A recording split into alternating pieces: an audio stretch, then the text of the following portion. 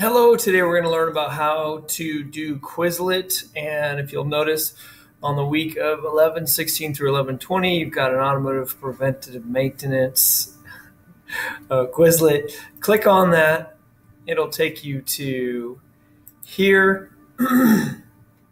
this screen has multiple options on the left hand side. You can choose to learn these concepts that I have placed in different ways. There's flashcards whereas you read it and then you click on this and it gives you the answer.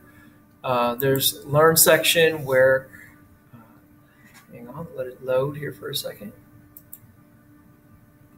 And once it loads, learn section, you try to figure out um, the you get the answer and then you try to figure out which one of these is correct. So as you can see, I just did that right. Um, you go back to the set page. Excuse me going back to the set page, and you've got all these other options for learning spelling test. Um, and so when you get through with it, you take the test, right, and give that a second to load, right? And once you've done the test, you can then check your answers and then there will be either I will do a, like a Google form or these answers may work depending on how the classes do.